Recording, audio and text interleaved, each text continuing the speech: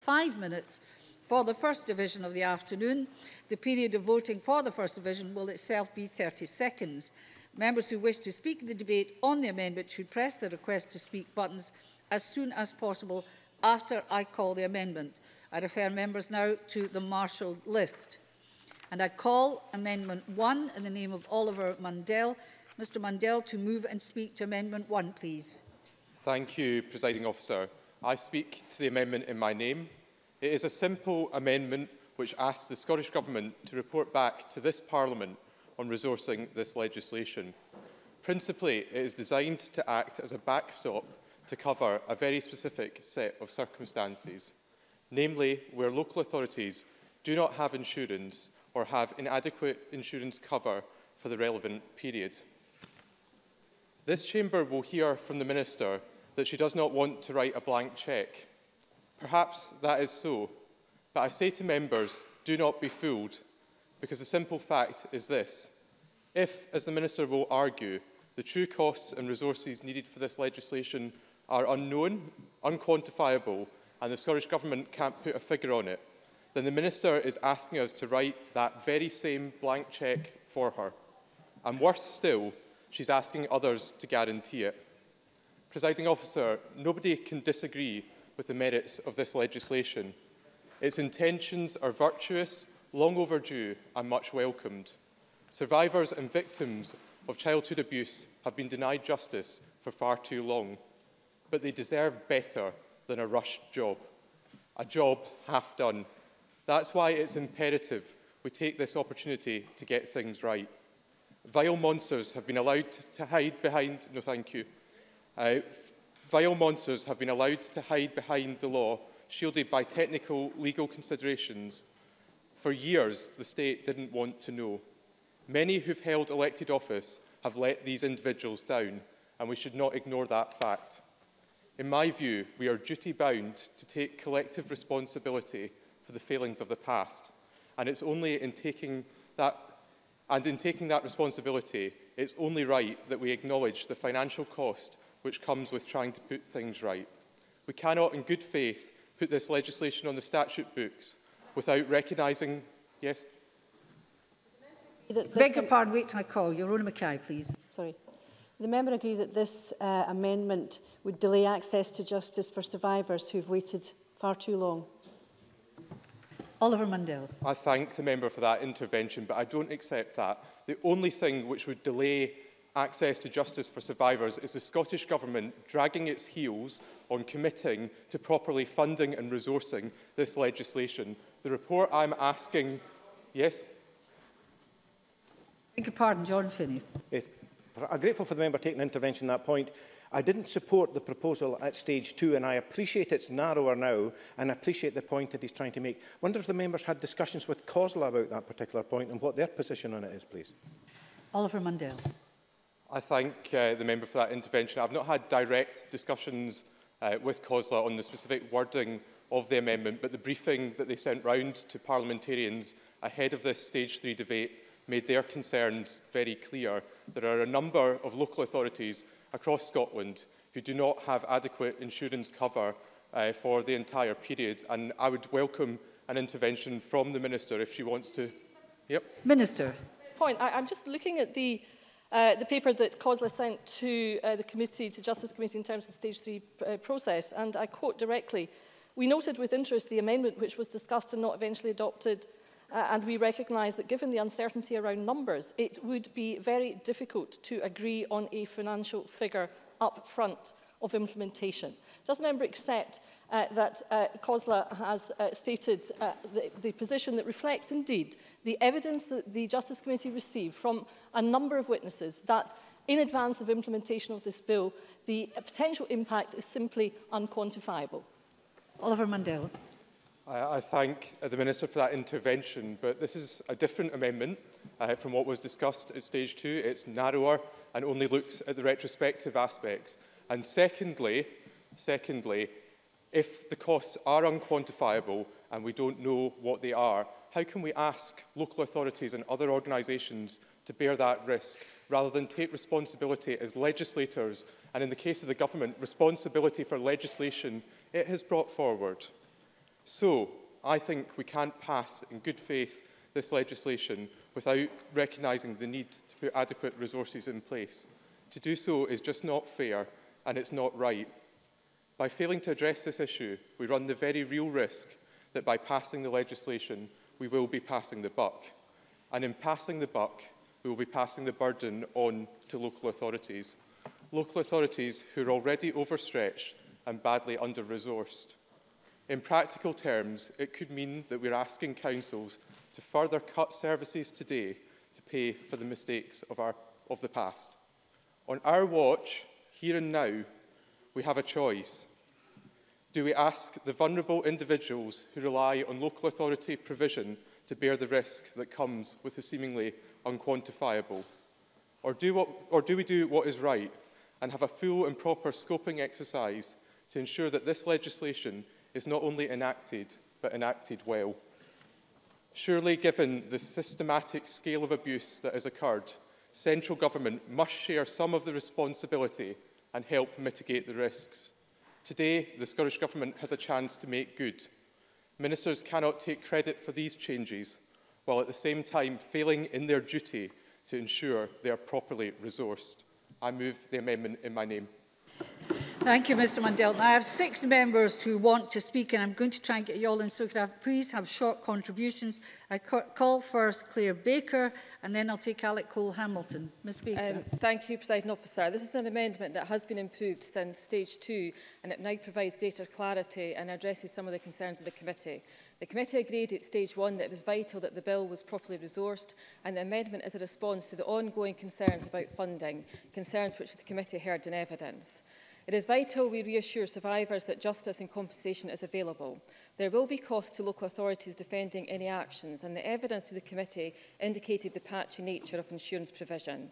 The bill is more than just a signal of support. We need to provide certainty that the financial resources are available when cases are brought forward. We must recognise the strength of feeling there is that that confidence is lacking.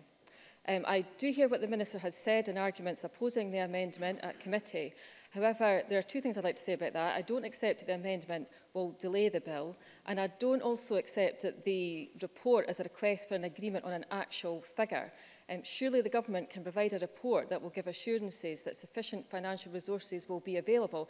Otherwise, they're suggesting a situation where they can't guarantee that resources will be available, a situation which could completely undermine the intent of the bill. Um, and the minister also talked about a blank cheque at committee. It is important that the Minister um, gives assurances that the government will meet responsibilities and that local authorities are able to meet responsibilities. Otherwise, it's to suggestion that the amount is going to be capped and that there will, might be some difficulties in people receiving um, recom recompense. Um, I don't accept that the report is asking for an onerous or an impossible task from the government. I believe that it is possible for the government to produce a report which is appropriate and proportionate and is one that can provide assurances to survivors that this legislation can be meaningful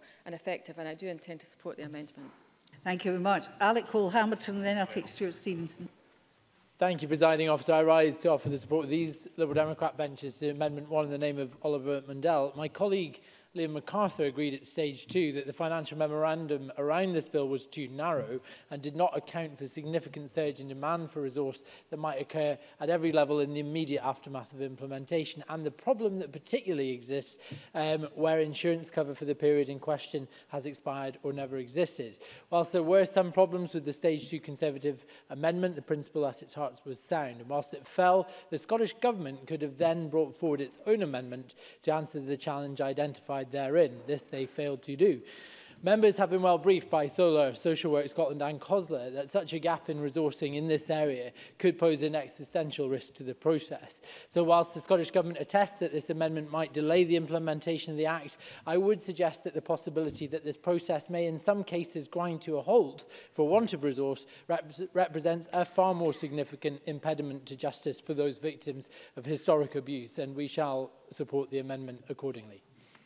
Uh, thank you. After Stuart Stevenson, I call Joanne Lamont. Uh, thank you, Presiding Officer. I, I think it's fair to say that the amendment that's now before us is more narrow in its scope and is closer to what we could take forward than the one that came forward in committee uh, from a former colleague uh, of Oliver Mundell. But it still suffers from the same basic problems. It now means the bill can move forward but if implemented, it would be a potential roadblock to the laying of the regulations that would give effect to the bill. Now, why is that so? Um, I accept it's public bodies only. By the way, that's not simply local authorities, we should bear in mind. Uh, but But the real, real thing is the words in the fourth line of the amendment that says, meet any obligations arising from an action brought. Now, let's examine an example of...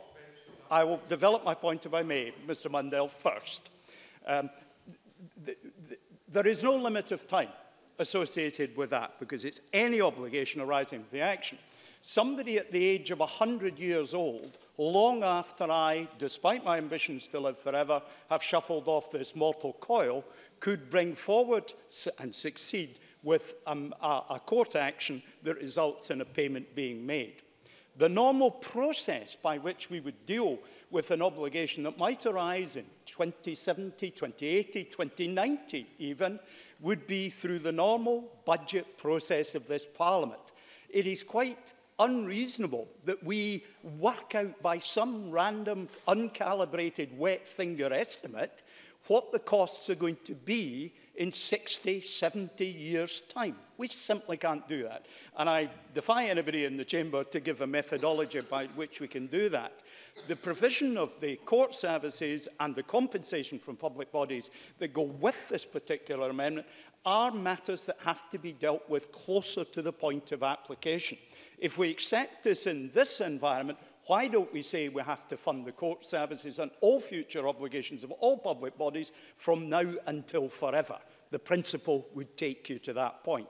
I'm not objecting to, of course, proper funding. I'm actually can, can you come to a conclusion, please? I'm trying that, to get others and, in. And I do support what the broad support. If I'm allowed to take an invention... Well, I would I'm say not, to Mr Mandel, I'd rather get the other members in if right. that's okay, and, and then you can do your summing up, if that's appropriate.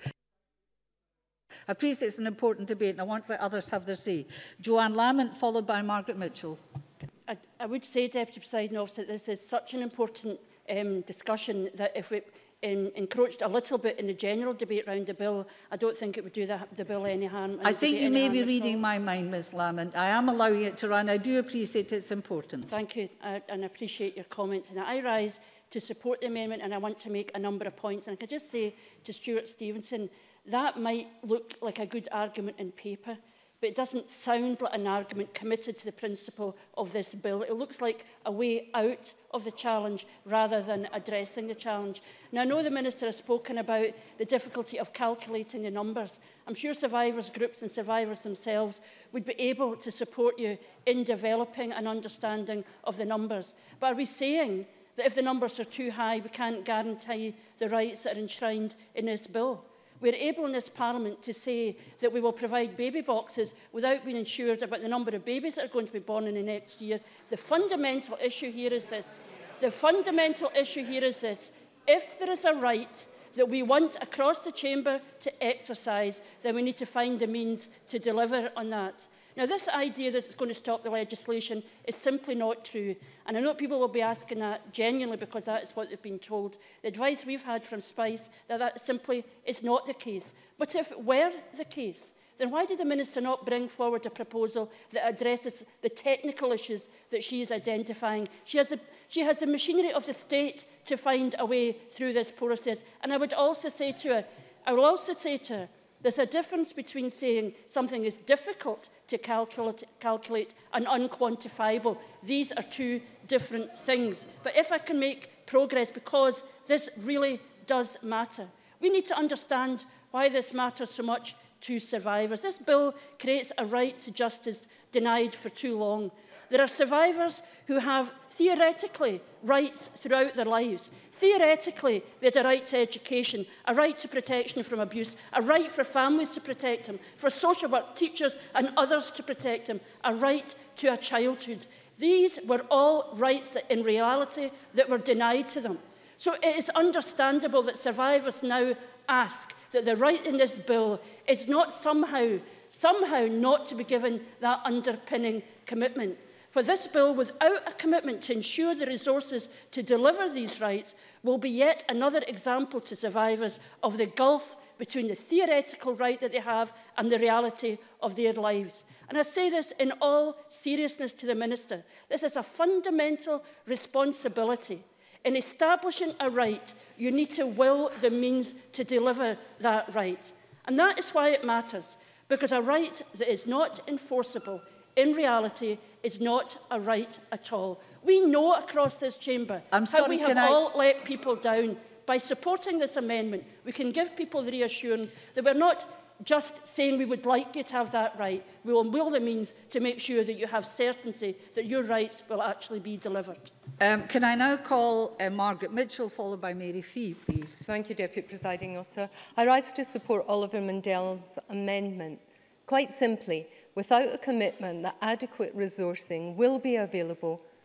there is a very real danger the much anticipated and eagerly awaited aims of this bill will not be realised.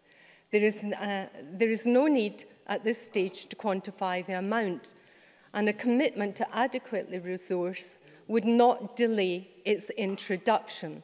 Frankly, if the political will is there, then the appropriate regulations can be laid tenuously.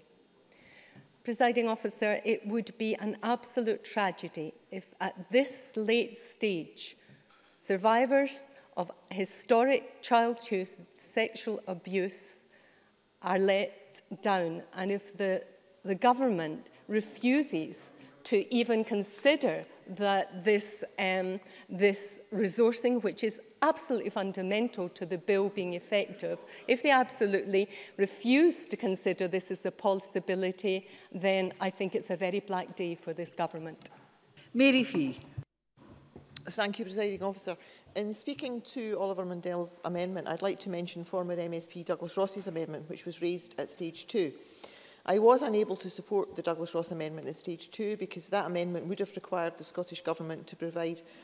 a full costing for the legislation before it could be passed.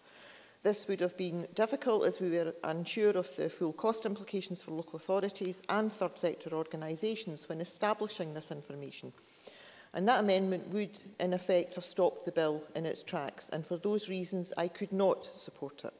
However, the amendment tabled by Oliver Mundell requires ministers to prepare a report showing that sufficient financial and other resources are available to help meet any obligation arising from this legislation. And this report should be laid before Parliament before the bill receives royal assent. And whilst it could be argued that the difference between the two amendments is slight, I will support Oliver Mundell's amendment because the government will have the time to prepare an indicative report of the resources that local authorities will require. And a report of this nature could potentially allow local authorities and other organisations affected to plan the resources that they will require. And this can only be a helpful progression to enable survivors of childhood abuse to feel confident that they will get the help that they require when raising claims. Thank you. Thank you. No other member has pressed a request to speak, so I call the Minister, please. Thank you, Presiding Officer. The Scottish Government strongly opposes this amendment, which is largely the same as the amendment put forward by Douglas Ross at Stage 2, as has been referred to. It carries with it almost all the difficulties I raised at Stage 2. As before, this amendment is completely unworkable and has the potential of derailing the bill and thereby denying survivors the benefit of the bill. The amendment requires that before the bill is commenced, a report is laid before Parliament showing that sufficient resources have been made available to public bodies to meet any obligations arising further to the implementation of the bill. And although the, uh, I would like to make a bit of progress, thank you. I would like to make a bit of progress, thank you. Uh, and although the, the, the new formulation of the amendment is concerned with actions relating to uh, abuse that took place before royal assent, Uh, nonetheless, the, the basic uh, problems that the amendment generates for the coming into force of the bill uh, remain the same because as I made it clear at stage two, this puts us indeed into a catch-22 position. The impact of pre-existing abuse will not be known until after commencement, but the amendment would not allow us to commence the act until the impact was known or perhaps until a blank cheque has been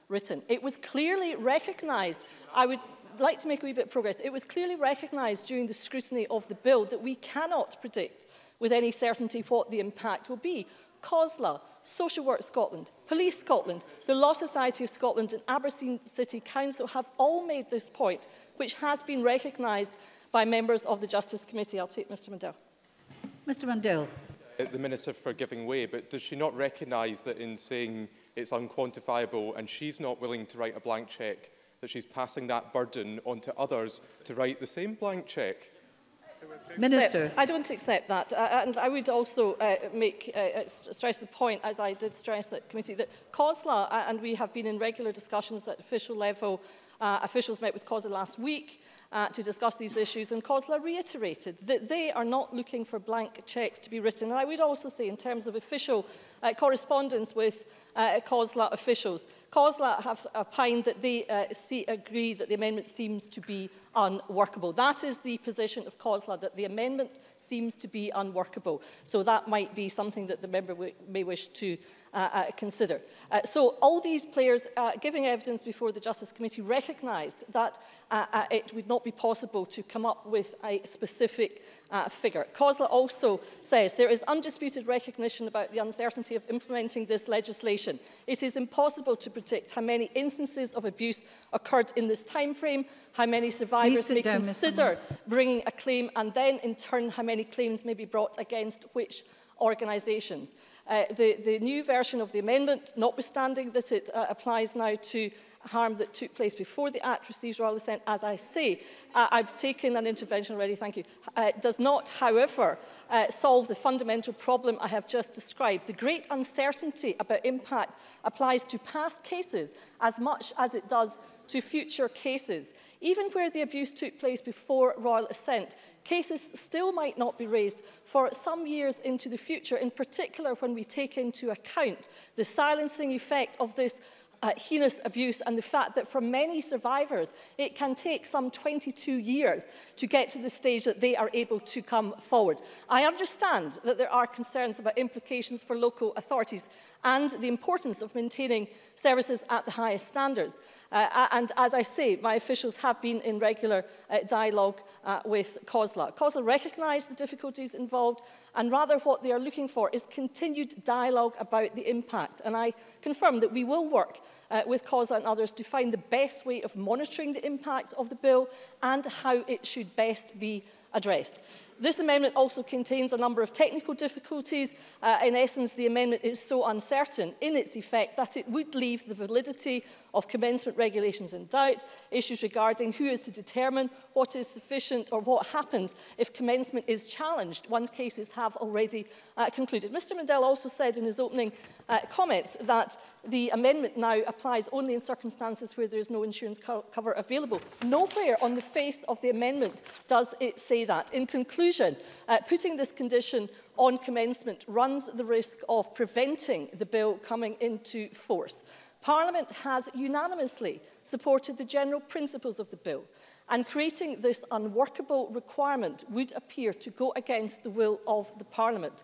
We should not forget that survivors have campaigned long and hard for this change, amending the bill in a way that might risk frustrating the process would be disrespectful to survivors and their very long fight for justice. I urge members to reject amendment number one.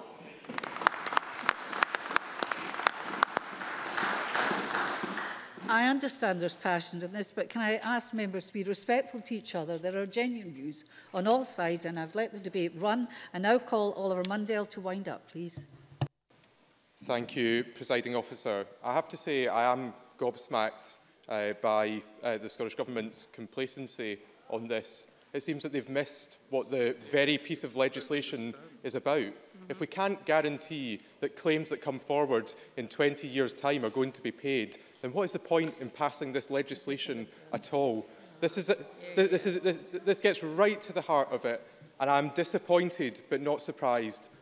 the government won't support the amendment. Why would they?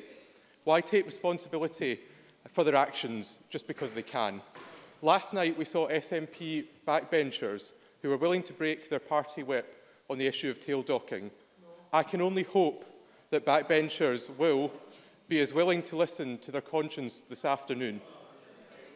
In particular, I would appeal to uh, Green and SNP members of the Justice Committee to make good on the recommendation we made on our report on this bill. The committee's report on the bill contains at paragraph 245 a recommendation that was unanimously agreed by all members of the committee. It says it is important that this bill is properly resourced to ensure that both its policy intent is achieved and to prevent any negative impact on the provision of current services by local authorities. By agree... Yeah.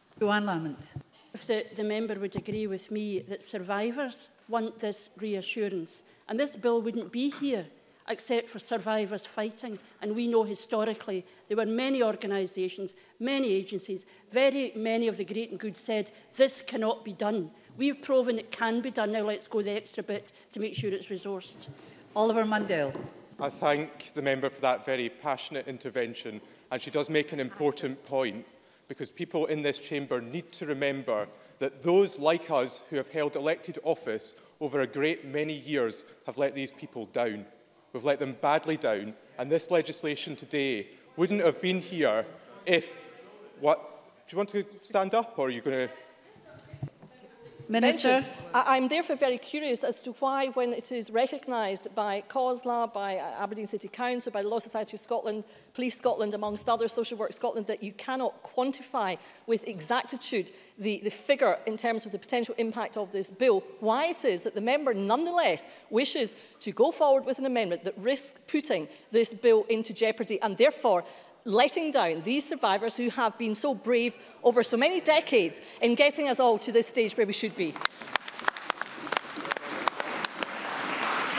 Oliver Mundell. It's clear the Minister's got plenty to say now, but when the tough questions were being asked of her, she didn't want to answer. So perhaps, perhaps, she could, perhaps she could stand up again and answer this question. I wonder if she could confirm how many of Scotland's 32 local authorities have adequate insurance cover for historic child abuse actions for the period in question? Answer. Come on, Just a minute, Minister. I have to call you first.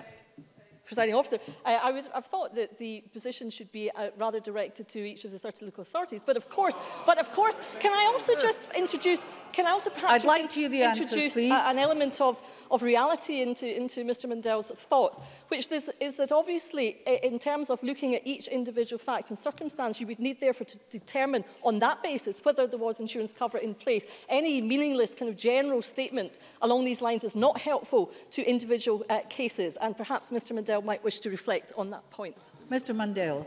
I reflect uh, carefully on that point and I would ask the Scottish Government in turn to reflect on the length of time it has had whilst this legislation has been progressing through Parliament to consider some of these points. And secondly, in answer to some of the other questions that have been posed by the Minister, this report doesn't ask for an exact figure of the number of cases that comes forward. It doesn't ask for a, a quantified amount of support. And in correction to what both the Minister and Stuart Stevenson tried to suggest, it doesn't cover any Uh, ob obligations that arise as a result of this. It's qualified, if you read the whole amendment, it says those obligations which are a uh, prejudice to current services provided by local, uh, by public bodies. Well, I'm glad you're coming through the chair because I was beginning to think Halloween of a cup of tea while you both have a rammy across, across the chamber.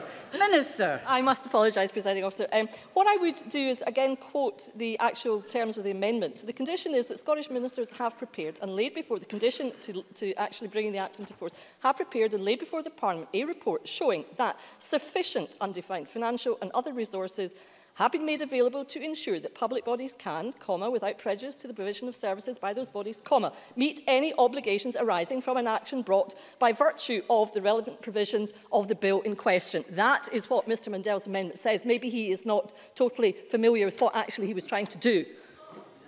Mr Mundell. I, I think uh, it's the Minister who's not reading uh, the detail of the amendment. no, read, read, read. Well, she's, read she, she's read it out, but she hasn't understood what it means uh, on paper. And, and irregardless of that point, it simply asks for a report. A report. A report. It's not asking for the numbers, it's not asking for a specified amount, and it's not asking for a further vote on the quality of the report that's put forward. By agreeing to this amendment, we will be ensuring that full scrutiny is given to this legislation by this Parliament. This is not a wrecking amendment. It would not delay this legislation and it simply asks ministers to take accountability for the delay that has occurred on their watch for bringing these uh, changes forward. It asks them to underwrite the unexpected financial burden this might place on local authorities. And it asks them to ensure that vulnerable individuals in the care of the state today do not pay the price for the mistakes of the past. I believe the unwillingness of ministers to take that point seriously smacks of the very same cowardice and dithering from those in authority that has allowed this whole issue to be brushed under the carpet for too long. Patrick Harvey. I'm, uh, I'm grateful to the member for giving way. He's aware that I'm not a member of the committee that scrutinised this in detail. Uh, and, presiding officer, I thought we were uh, coming here to, to listen to a debate where there was a good degree of consensus on the objective here. And I have to say, both to the member and I'm sorry to say to the minister, that I find it slightly unedifying to hear people now accusing each other of wanting to let down the victims of historic child abuse. I don't think that's the kind of debate that we ought to be having. Is he intending to address the question which has been raised that Kosler consider his amendment to be unworkable, something that he said in his opening remarks he hadn't asked them about. Mr Mundell. I thank the member for that intervention and I don't think that this debate's unedifying. I think that having spoken to survivors groups this morning, the very survivors who've been championing and campaigning for this, that they'd understand why this amendment was really important and what it offers them. And I think that COSLA, perhaps on the advice of the Scottish Government around what this amendment means, might have taken a, an opinion because it seems, it seems the Minister is so blinkered she's not willing to consider she's not willing to consider what a report actually means. I press the amendment in my name. Thank you, Mr Mundell. The question is Amendment 1 be agreed to. Are we all agreed? Yes. We are not agreed. There will be a division. As this is the first division of the stage, I suspend for five minutes.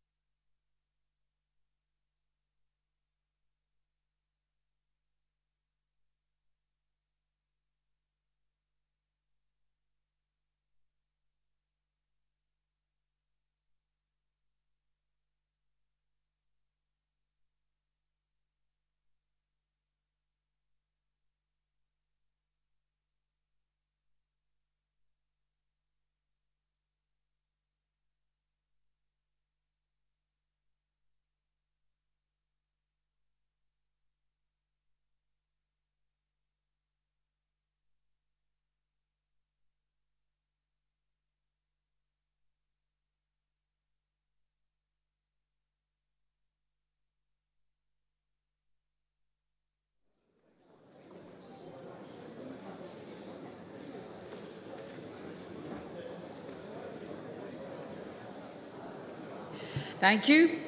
We'll now proceed with the division on Amendment 1. This is a 30-second division, and members should cast their votes now.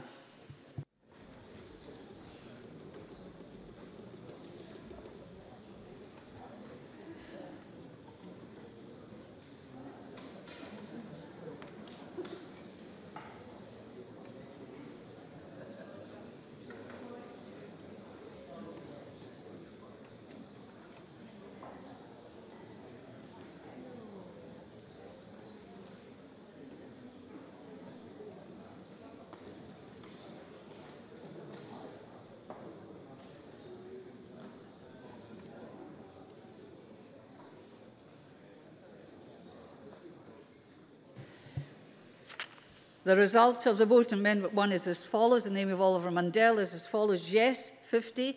No, 65. There are no abstentions. The amendment is therefore not agreed. That concludes um, amendments and I am required to read out, if you weren't here yesterday, if you're here, you probably don't want to hear it again. As members will be aware at this point in the proceedings, the presiding officer is now required, understanding orders, to decide whether or not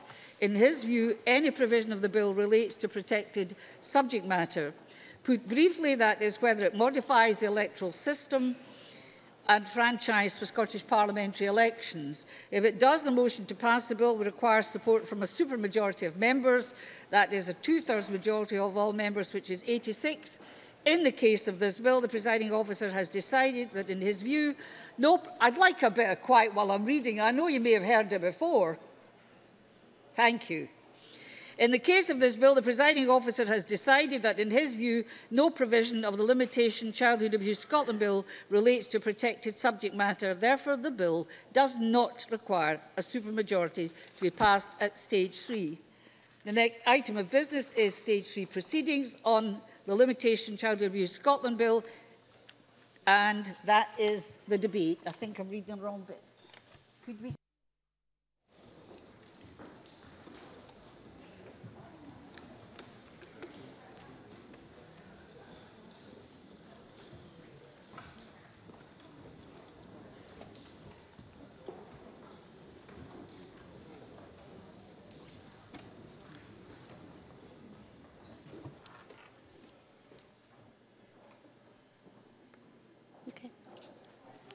The next item of business is a debate on motion 6201 in the name of Annabel Ewing on the Limitation Childhood Abuse Scotland Bill at Stage 3. Can I ask those who wish to speak in this debate to press the request to speak buttons now? And I call on Annabel Ewing to speak to and move the motion. No more than eight minutes, please, Minister. Uh, thank you, Presiding Officer, and I'm pleased to open the Stage 3 debate on the Limitation Childhood Abuse Scotland Bill uh, and to invite members to agree to pass the bill. I thank members of the Justice Committee, the Finance and Constitution Committee and the Delegated Powers and Law Reform Committee uh, for their hard work and careful scrutiny of this hugely important bill. I also thank members for their comments on the bill during its passage uh, through the Parliament. And I also thank the organisations and individuals who provided oral and written evidence to the committee and briefings on the bill's provisions. Most importantly, presiding officer, I would like to thank survivors who have been at the heart of this process. I thank them for their bravery and their persistence, for bringing to our attention the plight and injustices that they have suffered, and for not giving up their fight to set these injustices right. I am humbled by the courage that they have shown, not only in campaigning for this legislative change, but also in coming forward and sharing their experiences. It is the survivors coming forward that has made this bill possible and the reason that we have reached this important milestone today. Uh, and can I just add, presiding officer, at this point, that I was deeply saddened to learn that Frank Doherty passed away on 30th April of this year. Frank Doherty was a survivor who fought long and hard for the voices of survivors to be heard. And it is clear that we have lost an important witness and champion of survivors' rights. I, I would also like uh, to take the opportunity to make reference to the Scottish Human Rights Commission and to thank them for all their work over many years uh, on, on this uh, subject. Uh, as members will be aware, the bill stems from their interaction process and the action plan on justice for victims of historic abuse of children in care, which came out of that work. The action plan set out a number of recommendations, and I am pleased uh, to be here today at the point of fulfilling a key commitment – in response to those recommendations. I have welcomed, presiding officer, the uh, discussions that we have had on the bill as it has made its way through the parliamentary stages. The Justice Committee uh, evidence sessions highlighted a number of important issues, among them the definition of abuse and in particular as far as the issue of neglect is concerned. I am grateful to the witnesses and to the committee for raising this issue and recommending that we look at this again. I believe the amendment that uh, was passed at stage two that we put forward uh, to expressly mention uh, neglect in the definition has provided added clarity uh, to the bill, for it ensures that there is no doubt that abuse in the form of neglect is covered by the defin definition of abuse in the bill.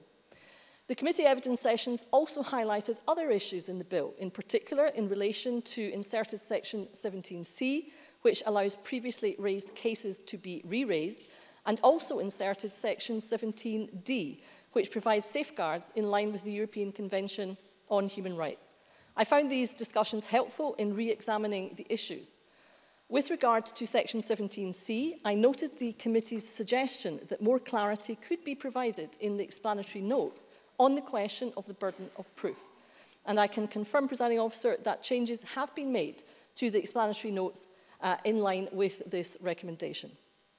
As I've mentioned before, this bill is about striking a balance, in particular, finding a balance between being inclusive and at the same time avoiding unintended consequences. I have made every effort to ensure the provisions in the bill are justified and are proportionate. On the important issue of prescription, I, I note and welcome the conclusions from the Justice Committee in this uh, regard in, in terms uh, of the issue of the law on prescription, which is relevant to abuse that took place before 26 September 1964. Because of the nature of the law on prescription uh, and human rights considerations, prescription will remain unchanged and the committee agreed that this was indeed the right approach. However, I am aware that the issue of prescription has come as a great disappointment to many survivors and I regret that it is not something that the bill has been able to uh, uh address. However, as members will be aware, this bill is not the only step taken by uh, the Scottish Government to support survivors of childhood abuse. And it is important to set this bill within the context of a number of other measures designed to improve the situation for survivors. In relation to survivors affected by the law of prescription, the current work to develop a consultation on the provision of financial compensation will include all in-care survivors within its scope. This work is being taken forward by CELSIS in collaboration with the Interaction Action Plan Review Group, which includes survivor representatives. I am aware that this work is in its early stages, with consultation expected to start later in the summer. Already up and running since October 2016 is the 13.5 million in-care survivor support fund, uh, now called Future Pathways. Older adults have been identified as a priority group since the inception of the support fund along with people in distress. Demand for support has been encouraging with more survivors than initially anticipated coming forward. In order to improve the responsiveness of the service and to address the needs of older and more vulnerable survivors who may not yet have come forward for support,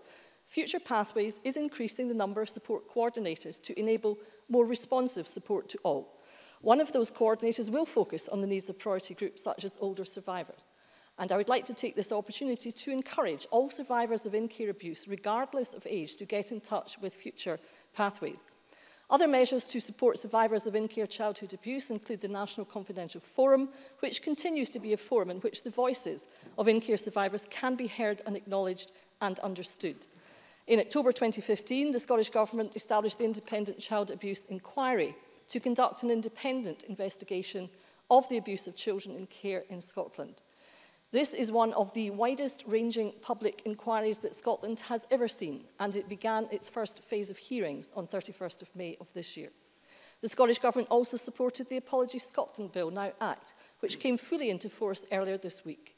By protecting the giving of apologies in certain civil actions, the Act is intended to encourage changes in social and cultural attitudes towards apologising. Uh, in conclusion, presiding officer, this range of measures, along with the passing of this bill,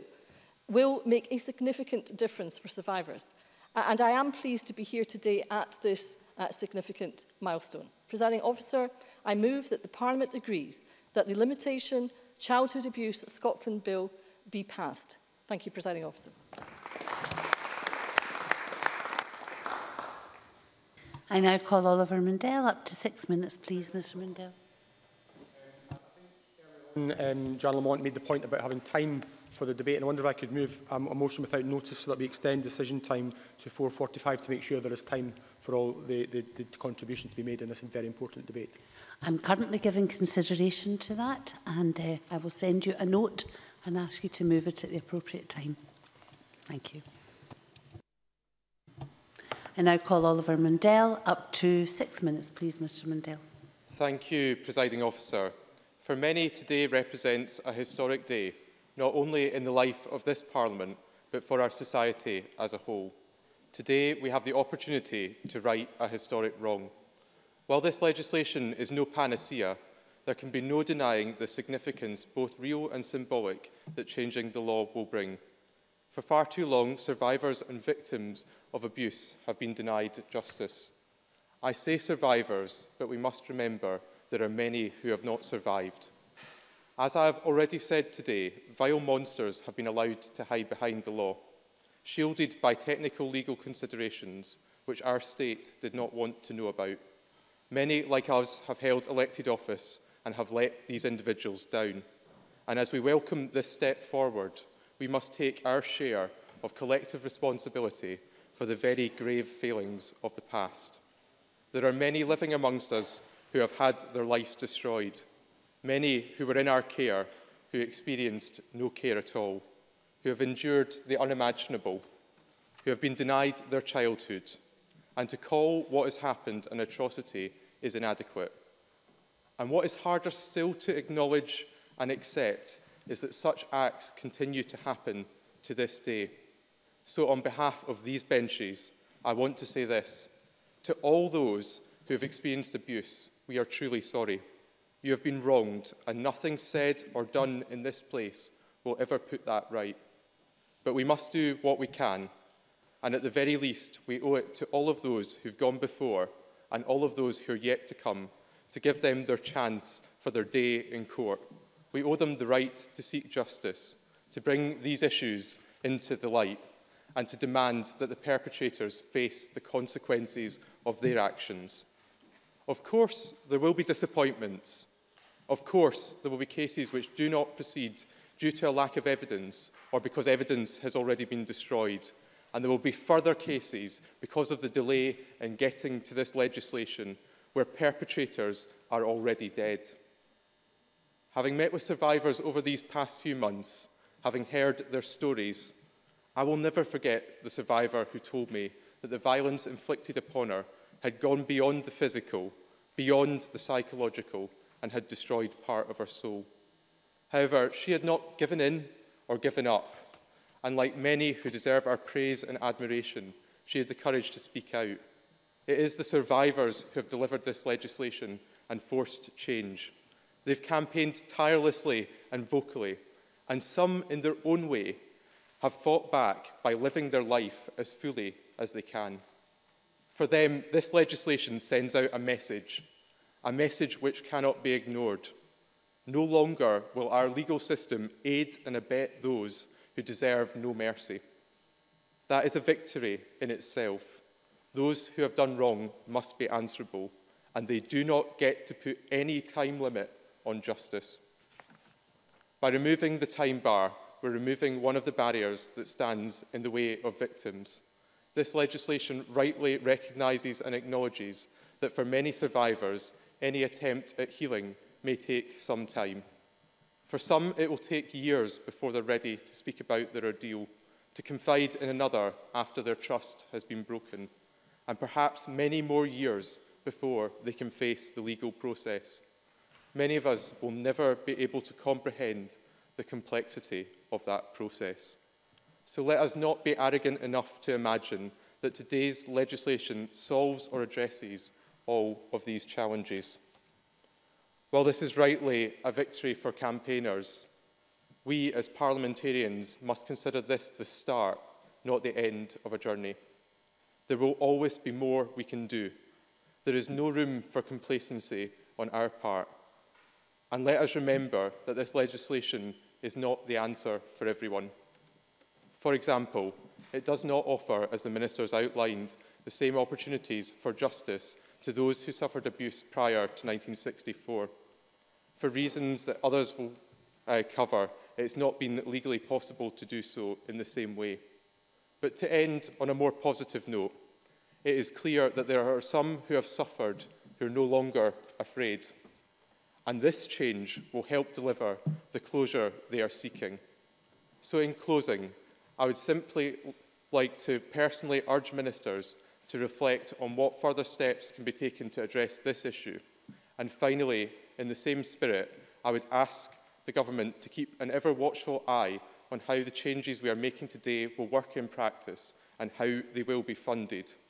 Let us make sure that those who've campaigned so hard and those who have waited so long are not let down for a second time. Thank you.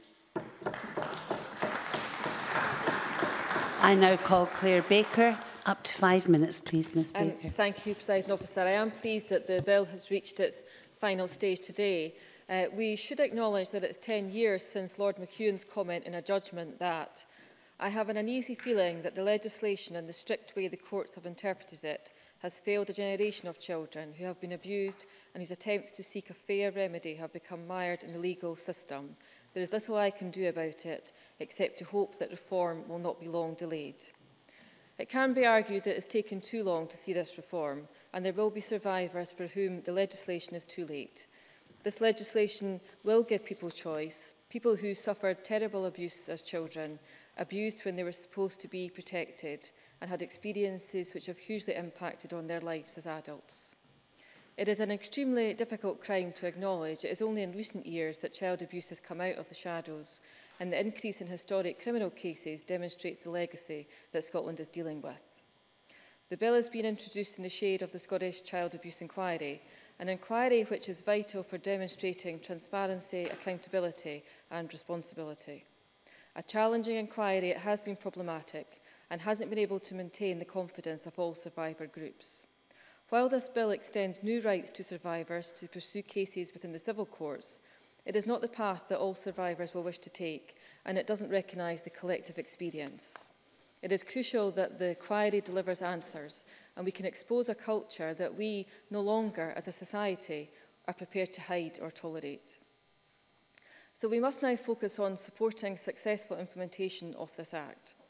The Commission for Parliamentary Reform report published this week recognises the importance of post-legislative scrutiny.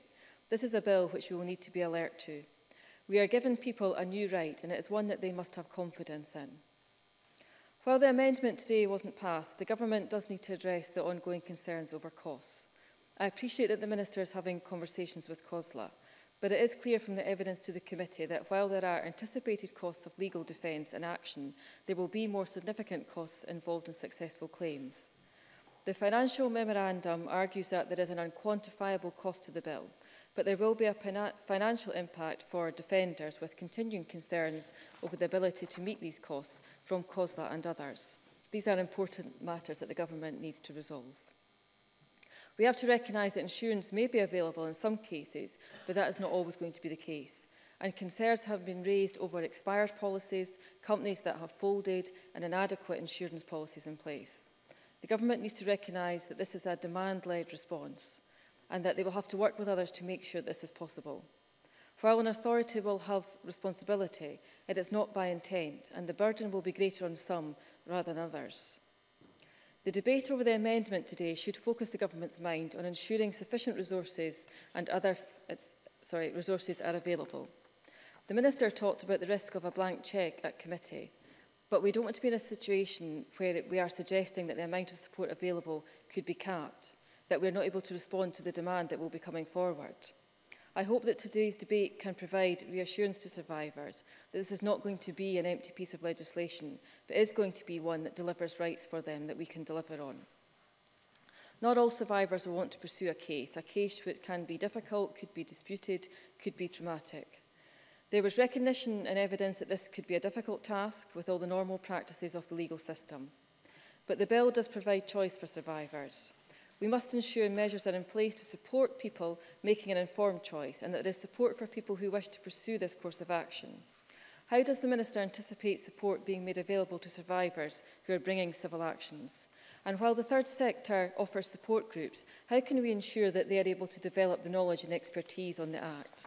And are there plans for training opportunities or events that the Minister is aware of, or how does she plan to promote opportunities? There is also recognition of the need to accept that training may be required for the legal profession and the need to develop specialisms. And the cases coming forward will be complex, and specialist courts were proposed and discussed in the evidence, which the government could legislate for if they accepted the case, and I hope they will give this some further consideration. I finally want to raise the issue of financial redress scheme um, for the merits of a financial redress scheme. The new legislation does not apply to people abused prior to 1964 and there is no civil action available to them. A financial redress scheme could be a way to recognise the abuse they suffered while in care and this is often a group of elderly and often frail survivors and a scheme aimed specifically at their needs would ensure they are provided with a level of redress while they could benefit from it and I urge the government to advance the work on this as soon as possible. This is an important piece of legislation. It is addressing an injustice for a group of people who deserve recognition and justice. And the law as it stands excludes them from the civil courts because they were young, vulnerable, abused when the crime took place. We must now ensure they are successfully able to use the legislation, if that is a decision they make, by ensuring that they are supported and that the Act is properly resourced. Thank you.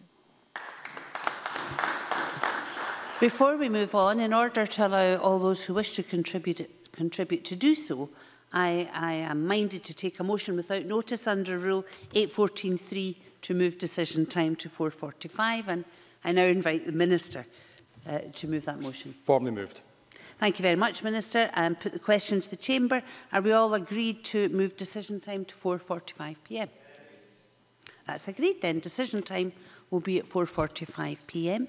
Now move on to the open debate.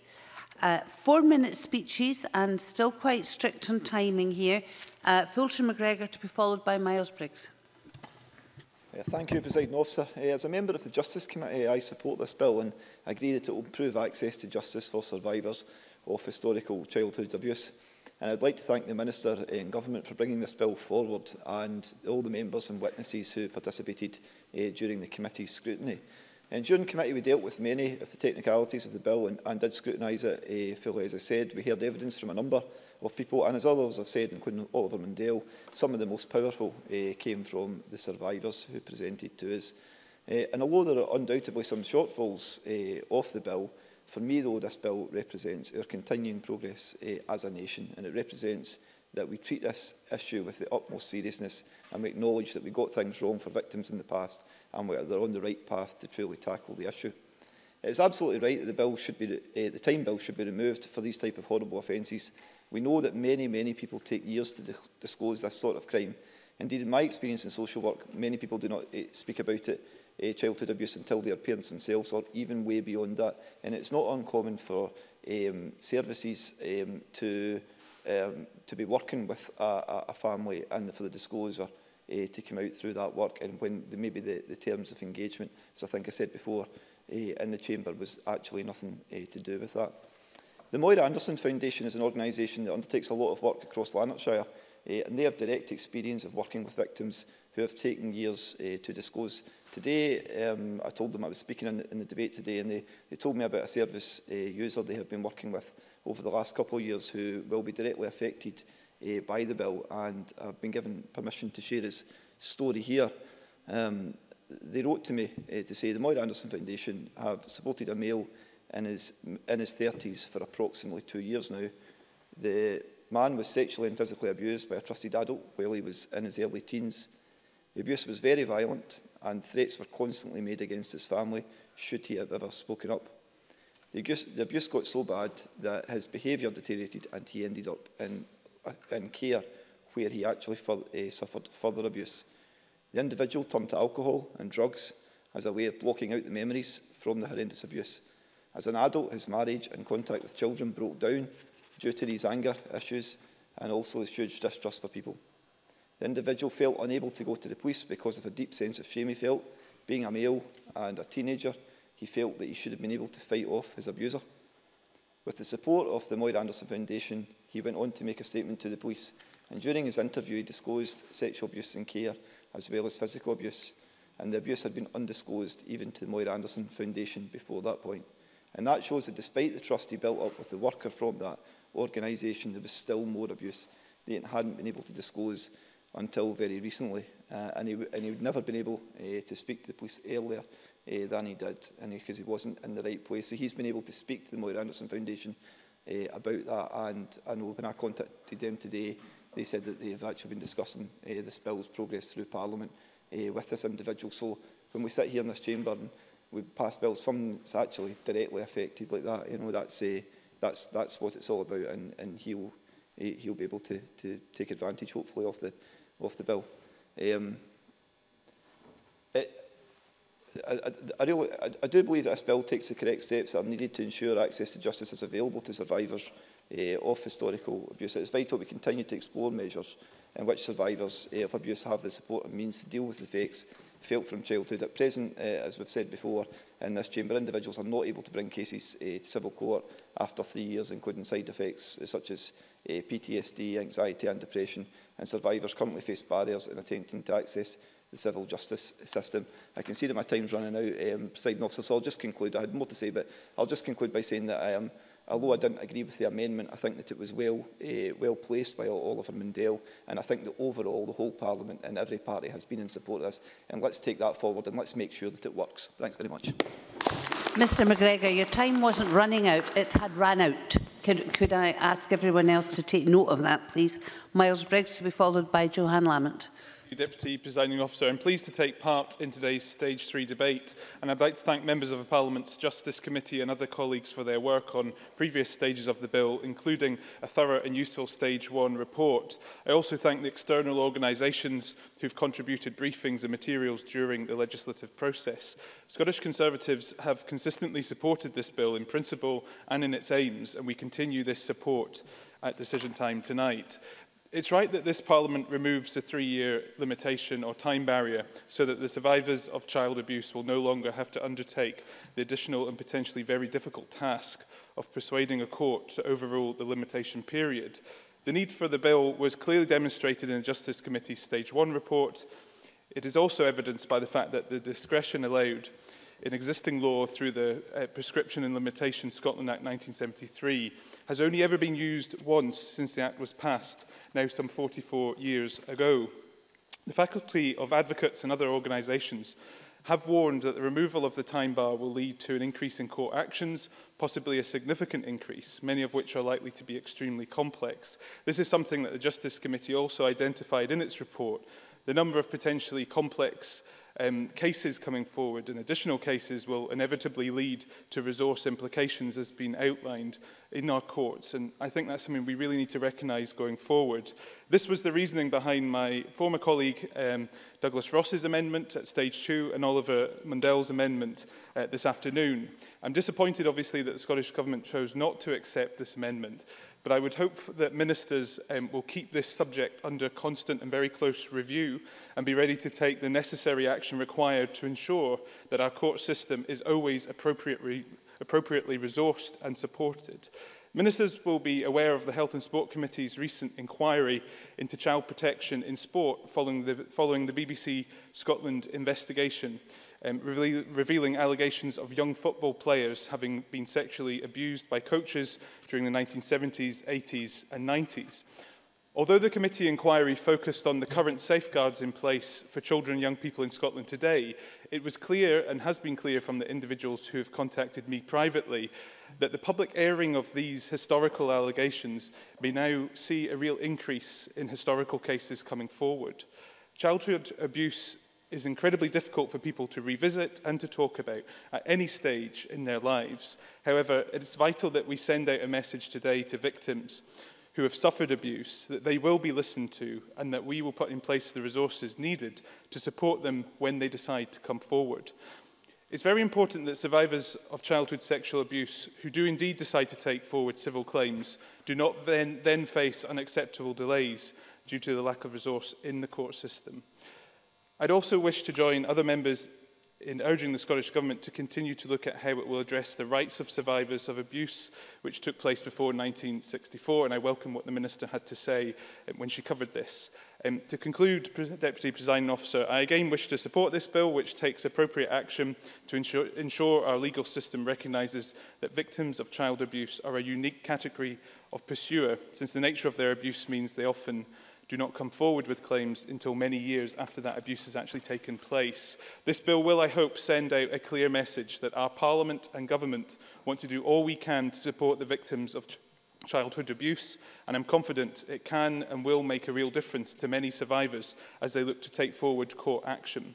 Delivering justice for those who have suffered is vital, and I hope that the passing of this bill today is another step towards truly delivering this for those who have suffered at the hands who we entrusted to protect and care for them. Thank you. I call Joanne Lamont to be followed by John Finney. Thank you very much, Deputy Presiding Officer. Can I say that I welcome the opportunity to participate in this debate and recognise that across the Chamber, people do want to make this legislation work. And we wouldn't be in this position if there hadn't been long, hard arguments about how you might deliver justice for people who, precisely because of the nature of the abuse they suffered and at the time in their lives they suffered it, were routinely denied justice. And I just want to say something very briefly about the amendment, because while there were those who voted against the amendment on the basis they believed that the, the legislation would be stalled, it's also true that those who supported the amendment believed it was necessary in order to give people confidence that resources matched the, the theory of the um, the legislation. And so I don't diminish the judgment of those who voted the way they did, but please don't think that anybody who supported the amendment wanted to do, it, do so in order to prevent that legislation being enacted. And I've heard the phrase, if, I've heard the phrase blank cheque, but we wouldn't want a bounce cheque either. And that is why the question of resources really matters. And it isn't just about dialogue with COSLA or whomsoever is about Scottish Government underpinning and committing to finding resources to ensure that these rights are real for people in their lives. Because we have to recognise the role of survivors and survivors groups, those who understood the diverse needs and experience of survivors and have stood with them. Not just survivors who themselves found their voices, but those people who, when it wasn't something that was so readily understood, stood with them and gave voice for them to their suffering who saw the patterns of behaviour, the women's organisation who saw the, pattern, the connections between domestic abuse, sexual abuse, child abuse, and insisted that the political process understood it was something to do with them at a time when many organisations said, this is not our business, this is not the business of the state. That is their victory, and we should recognise that. It's important to understand the journey, that there was a time that it was simple denial that abuse actually occurred, a system where perpetrators were moved on to abuse again rather than to confront what was happening. The refusal to listen and indeed to hear when young people were telling them what was happening and how many young people were silenced, left to continue suffering and were often scapegoated, if not in their own homes, but in the schools and within the care system where they found themselves. Blamed for their own abuse Their poor behaviour as a consequence of their abuse being used to explain why they were in the situation that they were in. And there is a bit of unfinished business, Minister, in relation to those professionals who had a duty of care during that time when there were policies already talking about abuse, who did not speak up for young people or understand properly what was being told to them. And I mention this because what seems now as an inevitable progress and journey was not always so, and we do not recognise that that journey was long fought for or understand the scale and pernicious nature of such abuse, how it might reveal itself, the long-term suffering it can cause, then justice will be denied. And we will see institutions again saying, this is too difficult. We have to understand now as we see revelations about football, about sports clubs, about community groups, about young people in care and in our home. The truth is predators, predators take many forms and we should not put these into silos. We need to talk about why and how the abuse of power is created and experienced in order that we can protect our young people in the future. And in conclusion, I just want to say very briefly on the question of the survivors strategy. We understand and recognise the inquiry and it is important. But there are those whose suffering does not come within the remit of the historic abuse inquiry. And wherever the abuse was suffered, it's essential that there is a proper survivor strategy to support survivors wherever they are. We need to understand that for some, they are not ill, but they need support and emotional support at particular times in life. They grieve the loss of their childhood, of the potential they had as young adults, and they deserve support. And finally, and I know the government supports this position, we have to have provision for survivors, we have to protection through the justice system, but we also have to pre have prevention by talking about abuse and ensuring that those who would perpetrate abuse against others understand the scale of society's hostility to that and our determination to ensure that it doesn't happen. I'm grateful to the government for the work they have done to get the bill to this stage and we look forward to supporting it at decision time.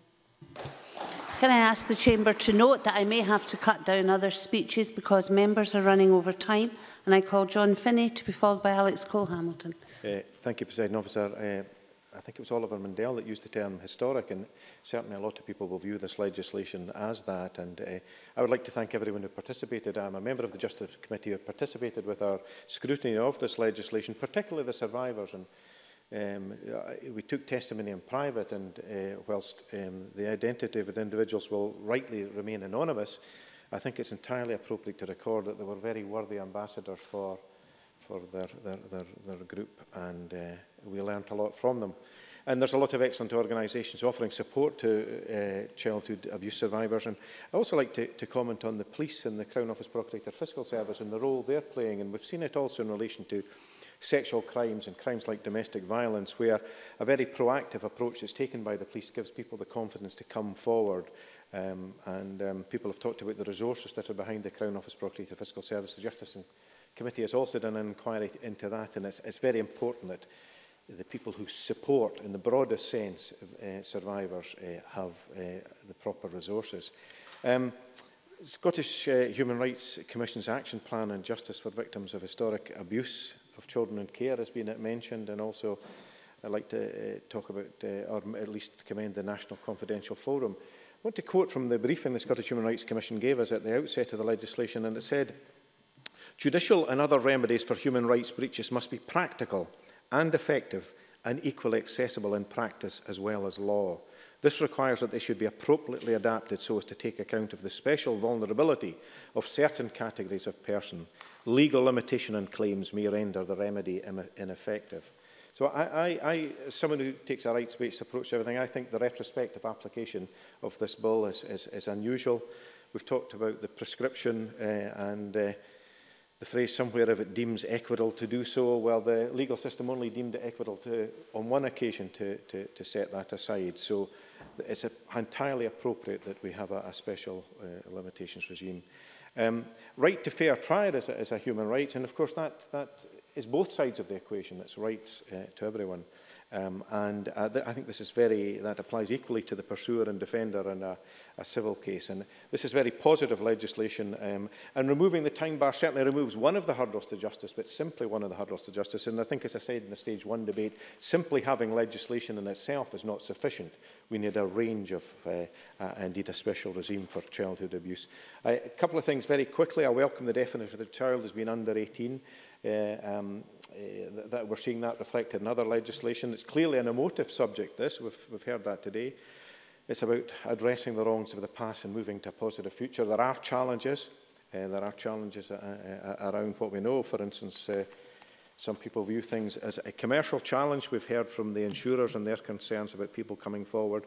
But I think we have to remember when we talk about statistics, when we talk about numbers, we are talking about individuals, all with a particular experience. And the way ahead is about prevention, as others have talked about. That is about education, and I think there's a lot of good education taking place in our schools. It's about obligations to challenge. It's about whistleblowing policies. It's about people feeling they can challenge if they see wrong. As regards older survivors, I sometimes involved with a, an organisation called Simba that helps people who have suffered from stillbirths. And I met a woman in her late 40s who had never had that support um, and uh, many years, in fact, it was 40 years after the event, she came forward. People can always gain support. I would hope people would come forward. There are other uh, initiatives on the go. Domestic abuse bill is something where the, the, the position of children is, is important. And if I may do one plug as in the last eight seconds, the Equal Protection Bill, which I'm bringing forward, is something that will protect children from assault by corporal punishment and will bring equality there. So I hope that will gain support in the future. Thank you. Thank you. May I have Alex Cole-Hamilton to be followed by Stuart Stevenson?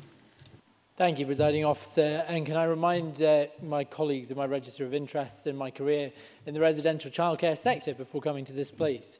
Coming to terms with the depth and extent of historic abuse has been the darkest awakenings for our generation.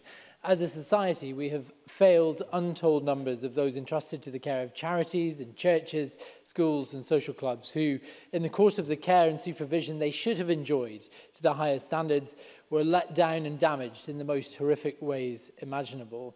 We can never hope to know the full extent of this suffering, but we can, by our actions in this place today, offer at least some access to justice and, by extension, an element of peace to those victims who can now finally tell their story.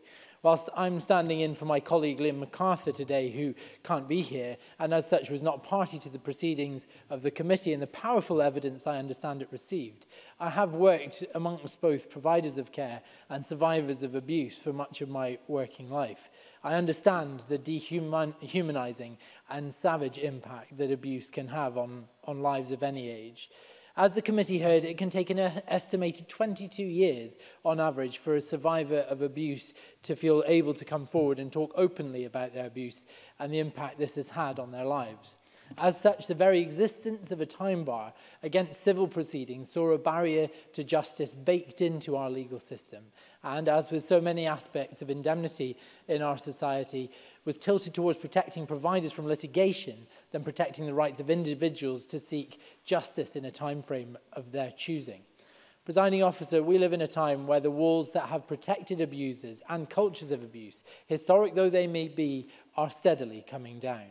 But in the cases of historic abuse, while the pursuit of criminal justice against the perpetrators of such abuse has no time restraint, victims have faced such a restriction in obtaining satisfaction and redress through the civil courts. This bill rightly rectifies this on cases of abuse after 1964. In the evolution of this bill, presiding officer, we have rightly seen an expansion around both definition and of settings.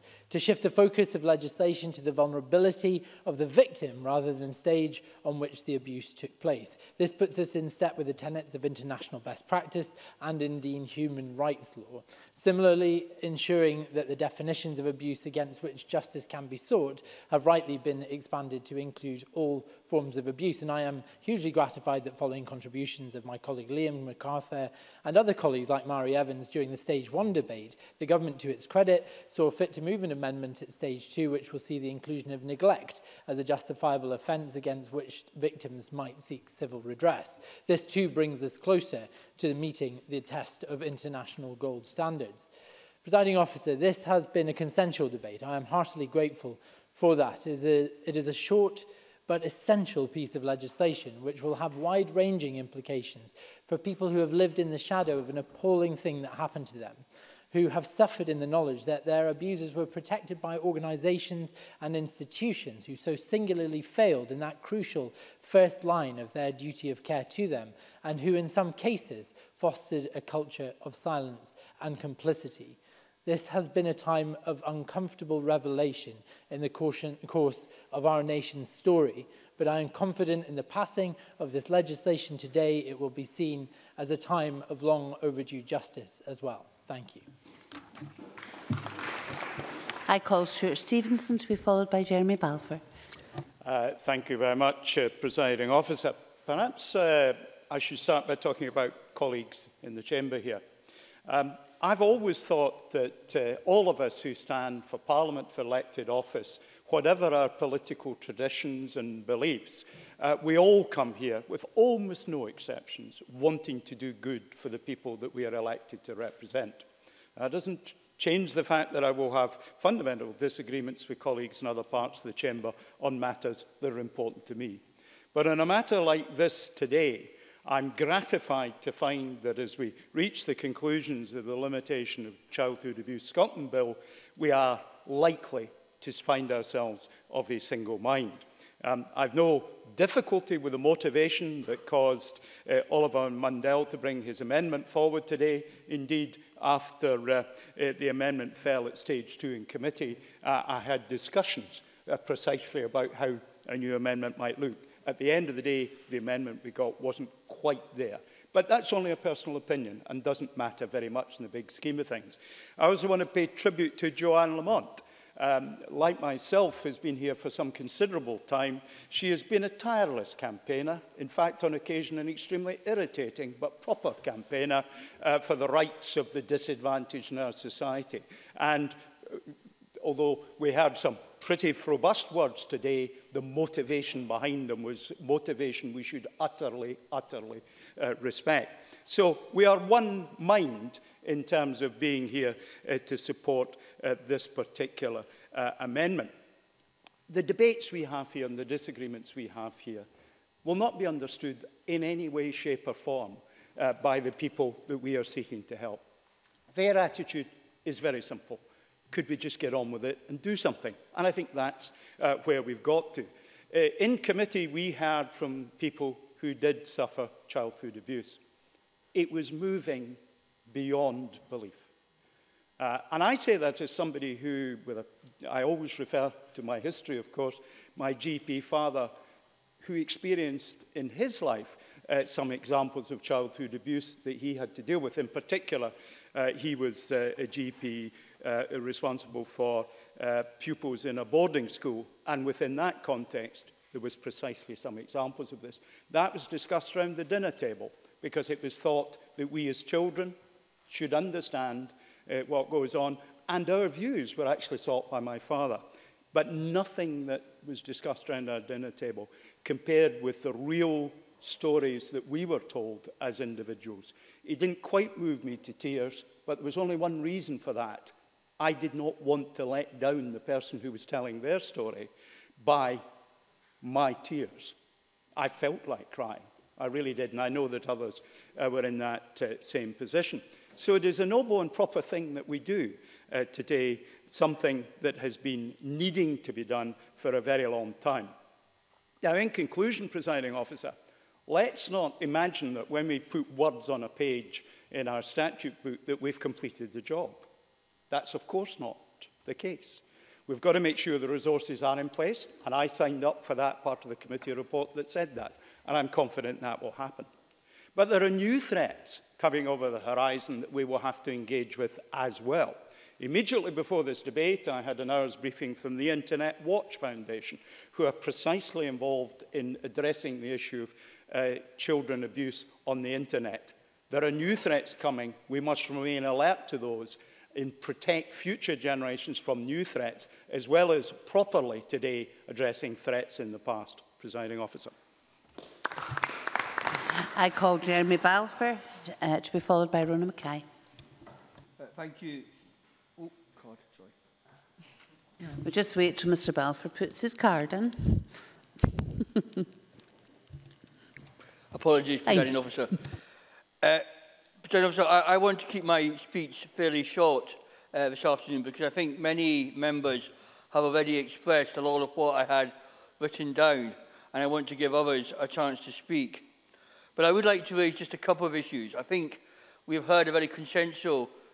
debate. But I think a number of witnesses questioned the assumptions made in the financial memorandum um, in evidence given to the committee. Police Scotland suggested it would be appropriate to carry out a further scoping exercise, suggesting a figure of 2,200 cases that could be brought forward initially was of a conservative estimate. Uh, and I do hope the government will do that work that is required at an early stage.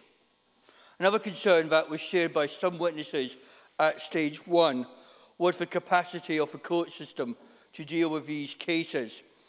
It is important that people who have waited for many years, then raising action are not discouraged by lengthy and potential avoidable delays. And I would be interested to know, perhaps from a minister and from a government going forward, how they can see that working in a court system that is already very busy. The Faculty of Advocates have suggested that there will be more cases and restraining the courts could be a time bar for cases actually getting to be heard. And we need to make sure that there are the right resources there for our court system going forward. Some concerns were raised about the potential negative impact on survivors by going to court. And I think we have already heard from others this afternoon that this will not be the road of action for everybody. The Faculty of Advocates again raised the significant emotional impact on those raising actions and said litigation is inherently stressful and could do more harm than good. And if people are brave enough to come forward and to raise these appropriate actions, we need to make sure that the support is there to help them through the complex legal procedures. It is important that people who have waited for many years to raise an action are not discouraged by lengthy and potentially avoidable delays. That is why I believe it is vital and why I want to make the same point as I made at stage one debate, that with the introduction of this legislation, there must be the appropriate support and advice to assist victims and survivors of childhood abuse. The Scottish Government must give the appropriate considerations of not only financially making sure that the, the right things are in place, but also the emotional support as well. It is our duty as Parliament to ensure that the bill meets the aspirations of the people who have suffered childhood abuse.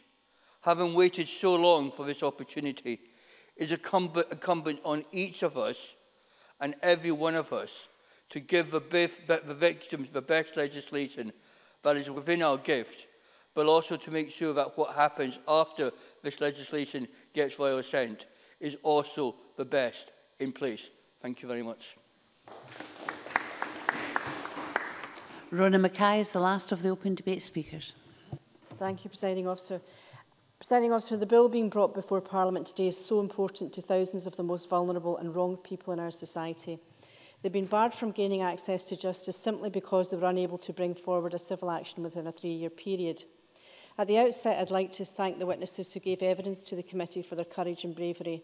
It was difficult for us to hear, but it must have been agonising for them to recount, and I cannot commend them highly enough. They spoke out so that never again would these vile crimes be covered up to ensure that there's no hiding place for abusers. Presiding officer, three years is not long enough for survivors to garner the strength to proceed with civil action against their abusers. They've been emotionally terrorised, stricken with fear and guilt, and simply need longer to attempt to deal with what has happened to them. Because this isn't a court action about neighbours fighting over land or suing a company for damages. It's about seeking recognition and an apology for being robbed of a childhood and sentenced to a lifetime of unimaginable emotional distress. The terrible abuse survivors suffered during childhood, sexual, physical and mental abuse was a life sentence. I'm also pleased that the bill was amended at stage two to include neglect, such a damaging form of abuse with lifelong effects. The cruelty bestowed upon survivors, often by people they trusted and who were entrusted to care for them, left them feeling worthless and violated. Presiding officer, some have raised concern that this bill will open the floodgates to those seeking compensation, which will be costly, which was at the root of Oliver Mundell's amendment. Apart from being unworkable, this amendment would have delayed justice to many survivors and sent out entirely the wrong message that they will get justice only if those ultimately responsible could afford it. However, I know this is, was certainly not the intention of Oliver Murdell's uh, amendment or those who supported it, and I'd like to commend Oliver for his moving and heartfelt speech. And I also agree with Joanne Lamont's uh, comments about the need for a survivor strategy. Presiding officer, like my colleague Stuart Stevenson, I'm sure there isn't a single person in this chamber who doesn't support this bill. But the reality is that at this stage, the numbers seeking access to justice for historical crimes is unknown and estimates vary widely. It's not a panacea for survivors. The Scottish Human Rights Committee believe the vast majority of survivors will not go down the civil court justice route. Many survivors simply couldn't face the prospect of resurrecting the horrors that they've kept locked away in a box throughout their lives and bringing it to court will never be the answer for them. And we also found a common thread throughout the testimonies. Most survivors will not, would not do this for the money, even if they brought it to court. Many simply want the perpetrators brought to justice, an apology for the terrible injustice and violation they suffered. They've been so emotionally damaged, many have been so emotionally damaged they've been unable to attain a good standard of living. Their financial potential has not been realised and they've struggled to make ends meet. But how can you put a price on what any of them have suffered? It's simply too hard for any of us to imagine. So in conclusion, presiding officer, if this bill brings any light at the end of a long dark tunnel for some survivors, then I'm happy to commend it to the Parliament. now move to the closing speeches and I call Mary Fee. Four minutes, please, Ms Fee. Thank you, Presiding Officer. Can I begin my contribution by reaffirming the support of these benches for the Limitation Childhood Abuse Scotland Bill? And I'd also like to take this opportunity to thank the Government, the Minister and the external organisations for their input throughout the committee's evidence sessions. At stage one of the bill proceedings, I praised the outstanding bravery of the survivors of childhood abuse for their input throughout the bill process. And today I think it's important that I repeat my admiration for the survivors in helping to bring this bill forward. Without their bravery, their patience, their cooperation, the limitations bill would not have been possible. And in the committee we heard from a range of stakeholders that removing the time bar creates choices that some survivors will find preferable but some may not. And at stage one, I called for the right support to be made available to survivors in setting out their options. And I cannot stress the importance of this enough. In taking action through courts, the survivor will have to face a series of obstacles in providing evidence and reliving the horrors that they faced. And that's why Laura Dunlop QC warned that some action could do more harm than good, a quote that I highlighted at stage one, and one that I believe must be re-emphasised. It is of the utmost importance that all survivors have access to support and guidance which is tailored to their needs throughout the whole process and for as long after the process as they require to ensure they do not suffer more trauma. And presiding officer, I welcome and thank the Minister for the amendment which was lodged at stage two as Alex Cole-Hamilton said, that ensuring that neglect is covered in the definition of abuse gives certainty that many of those who provided evidence to the committee have asked for. And whilst neglect was covered in the first publication of the bill, giving the term its own place provides clarity for survivors, as Liam MacArthur highlighted at stage two. And the inclusion of neglect rightly widens the scope of the bill and reflects the evidence that we heard and the concerns that were raised about the definition by the survivors themselves. And this wider definition ensures maximum support and protection for all survivors. And presiding officer, today is a historic day. The passing of the Limitations Bill will provide redress that thousands of survivors of childhood abuse have been unable to access for decades. And it is clear from this afternoon's debate that all parties represented in this chamber are committed to the principles and passing of the Limitations Bill. And no contribution, I think, was more powerful or more per persuasive today than that of Joanne Lamont. And there is a clear consensus that the appropriate support must be available to all survivors who decide to pursue civil action. And in addition, all survivors have guidance if they choose to take a claim forward. And in closing for Scottish Labour today, I would like to reaffirm our support for the Limitations Bill and once again thank each and every survivor for their bravery, their patience and their support during the legislative process of the Limitations Bill. From the consultation process through to the passing of the bill today, The bravery, the patience and the support that survivors have shown has been commendable. Thank you. Before we move on, can I remind members that if they contribute to the debate, they should be in the chamber for the beginning of the closing speeches. And I call Margaret Mitchell. Around five minutes, please. Uh, thank you, Deputy Presiding Officer. I welcome this legislation which aims to increase access to justice for survivors of childhood abuse and want to begin by paying tribute to these survivors who have, who have over many years lobbied for the three-year limitation period for claims of historical child abuse, also known as time bar, to be abolished.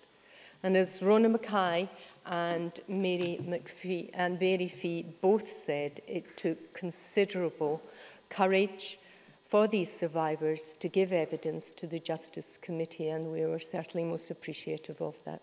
I also want, on a personal basis, to acknowledge and thank the members of the cross-party group on adult survivors of childhood sexual abuse for their valued input into this issue.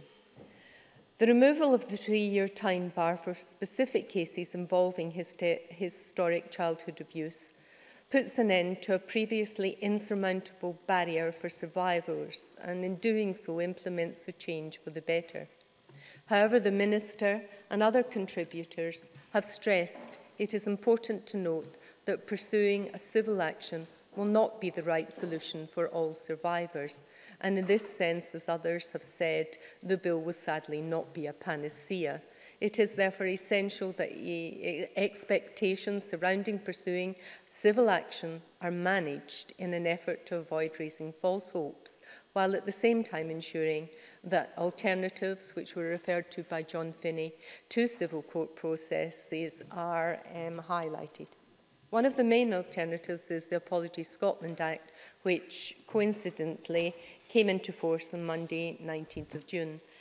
This is legislation I introduced as a Members' Bill, which was not just welcomed but actively promoted by survivors on the cross-party group.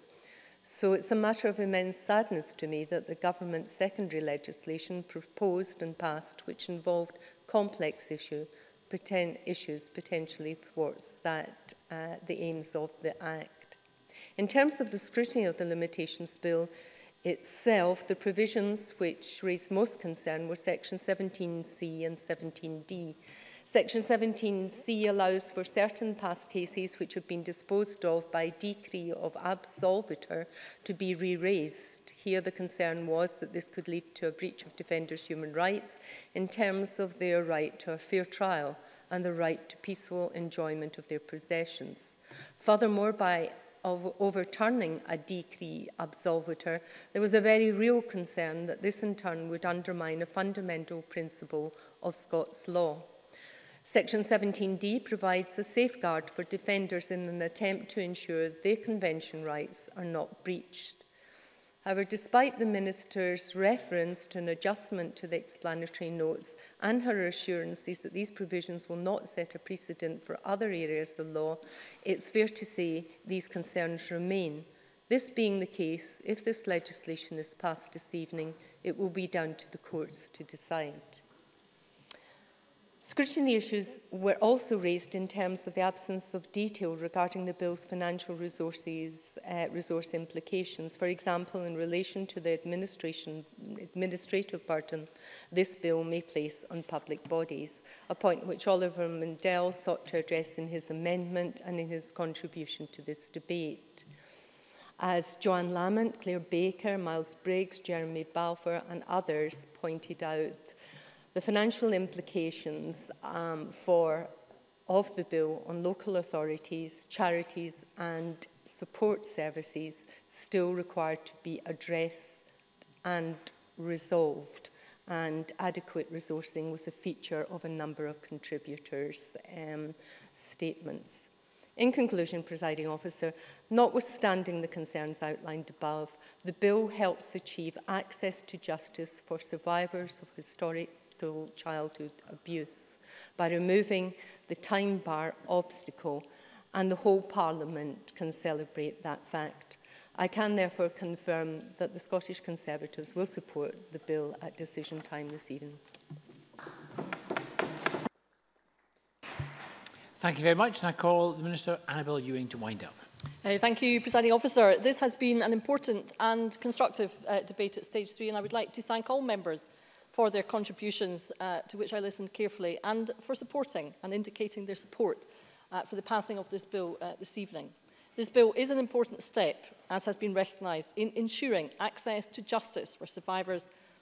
of childhood abuse. For the bill is designed to remove a barrier which in the past has proved in effect impossible to overcome uh, for survivors. The bill acknowledges the unique position of survivors recognising the abhorrent nature of the abuse, the vulnerability of the child at the time and the profound impact of abuse. In passing the bill today, Parliament will be recognising that survivors have been let down repeatedly. They were severely and fundamentally let down by their abuser and by the adults who were meant to protect them at the time. But they have also been let down by a justice system which has effectively denied them access to a remedy. Of course, it is acknowledged, and indeed has been acknowledged by many members uh, uh, this afternoon, that raising a civil action may not be the right way forward for everyone. Each individual survivor would have to take their own view.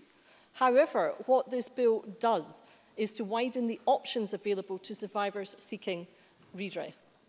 Of course, raising a civil action is still, uh, uh of course, a, a challenging task, and I, I do agree with, with members uh, who have pointed out uh, today and in previous uh, uh, debates on this bill uh, the importance of ensuring survivors are supported. Support works best if based on individual needs, and this means that the most effective support will be different for each individual survivor through the Survivor Support Innovation and Development Fund, which has a budget of 1.8 million for this financial year, we fund third and voluntary sector organisations to provide a wide range of services, including practical and emotional support, information provision, creative therapies, counselling, employability, uh, peer-to-peer uh, -peer support and befriending programmes. It is also, of course, important that, uh, as has been mentioned, survivors are able to access quality legal advice. Survivors will be able to apply for legal aid and will no longer be required to demonstrate a reasonable prospect of success in overcoming the time bar hurdle, a hurdle which has proved in effect insurmountable survivors in the past. We are also uh, working with the Law Society of Scotland to ensure that solicitors are well placed to support survivors through the legal process, including looking at what training could be made available. The impact, potential impact on the courts has been raised uh, in the debate this afternoon by a number of members. Uh, and what I would say that in the same way that we cannot quantify at this stage the potential impact on local authorities and other bodies, we cannot with absolute certainty say what the impact will be on the Scottish Courts and Tribunal Service. In terms of the estimates that we do have, uh, including those relating to when cases would be lodged, uh, which are presented in the financial memorandum, uh, further to recent uh, discussions that officials have had with the Scottish Courts and Tribunal Service, um, they are of the view that these cases could be absorbed within current business programming. There is, of course, no certainty around these numbers, as we have previously discussed at length. Uh, we are in ongoing discussions with the court service on how best to monitor the impact and will consider any issues uh, that may arise. The impact on local authorities uh, and on third sector and voluntary organisations has, of course, been a key theme in the consideration of this bill and in uh, uh, today's uh, debate. Uh, and it is important to keep in mind that COSLA and many uh, third sector organisations do absolutely support the bill. As I have made clear before, I do recognise that there will be financial and other uh, resource implications and that costs might go beyond the costs that are directly associated with defending actions However, as we have uh, discussed uh, uh, in detail earlier this afternoon, at this point in time, it is not possible to say what these costs will be. That is why I have committed to keeping the situation under close review and to carefully considering the evidence of the impact of the bill. Uh, with regard to other issues raised in terms of the position of the uh, ability to look at previously litigated cases, decree, decree of declarator, and so forth. I, I would say in summary that this bill has been about striking a balance, a balance as between the, the respective rights of the survivor uh, and the rights, of course, of the defender. We do believe that we have found uh, the correct balance uh, uh, and we feel uh, that we have demonstrated that in the presentation of these provisions in the bill and in ensuring that we are saying this is the mechanism by which the courts must make this assessment. So we do feel that we have uh, worked very hard to find that balance uh, uh, and I'm pleased to note that that is the view of many members in the Chamber. In conclusion, presenting officer, I, I would like once again to thank the Justice Committee for their detailed scrutiny of the bill and all of those who provided written and oral evidence. I would like to thank again the Scottish Human Rights Commission for their extensive work in this area and all other individuals and organisations who have engaged in this process. And as I said in my opening remarks, And most importantly, I would like to thank all survivors whose bravery and persistence has secured this proposed legislation that we are about to vote on this evening. I am proud to be here today to uh, support the passing of this bill. We should not underestimate the significance of the message that we are sending here today. That is a message that we will always seek to support and respect those in society who have been harmed and that access to justice for all of our citizens is at the heart of our values. Presiding officer, I ask that members support the motion and agree the passing of the Limitation Childhood Abuse Scotland Bill. Thank you.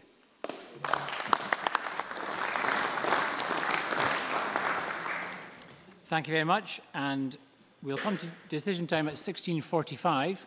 Uh, and there'll be one question to be put as a result of today's business. The question is on the, uh, the motion to pass the Limitation Childhood Abuse Scotland Bill. Just to explain uh, that we will have a division on this vote. We won't just ask whether members agree or not. That's because under the new procedures, uh, although Parliament has decided that we don't need a supermajority for this bill, that decision is challengeable. And the only way it's not challengeable is if you actually register that two-thirds of members eligible have voted for the bill, i.e. 86 members. Oh, did you all follow that? Yes, of course we did. What it means is we can't just pass the bill by acclamation. We have to have a vote, a division. And on that note, we will now move to a, vision, a division. The question is that motion 6201 in the name of Annabel Ewing on the Limitation Childhood Abuse Scotland Bill at Stage 3 be agreed. Members should cast their votes now.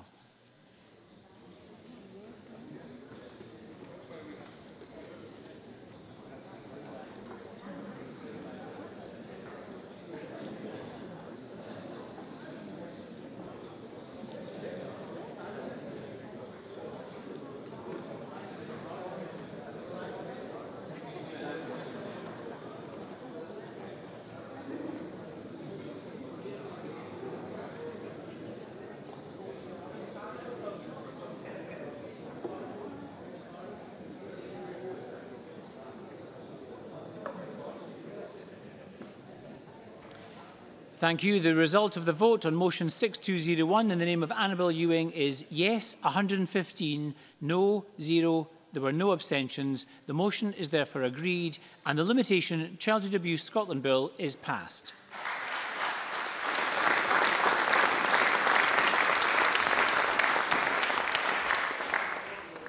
Point of order from Finlay Carson. Hang on a second, Mr Carson, just to get your microphone on. Point of order from Finlay Carson. Presiding officer, it's been confirmed in the last few minutes that the Scottish Government has indeed sought an extension for the delivery of farm payments because it will fail to meet next week's deadline. The Chamber will know that Ruth Davidson asked the First Minister twice to confirm whether this was the case earlier today, yet the First Minister refused to answer. Can the presiding officer advise us What exactly is the point of First Minister's questions if the First Minister won't answer simple questions?